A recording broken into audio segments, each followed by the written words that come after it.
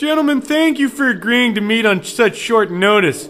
As you know, we depend on the Christian public for a large portion of the grosses for our various companies. Yeah, of course. Well, at the same time, we have to ensure that the actual teachings of Christ are not evident in any of our products, as they might offend some people just as they did when he was alive. It sure is a good thing he's not around today to interfere with You us. don't post record earnings by telling people to give their wealth to the poor, that's for sure. The problem now is that some people actually take the Bible seriously, such as the Knights of the New Crusade. precisely. They want to throw the money changers and the vendors out of the temple all over again. Wasn't once enough. But what are we gonna do about them? Well, I'm glad you asked. Gentlemen, I have here a comprehensive propaganda plan. We'll rely on bands and media outlets that we control to promote lies about these Knights of the New Crusade.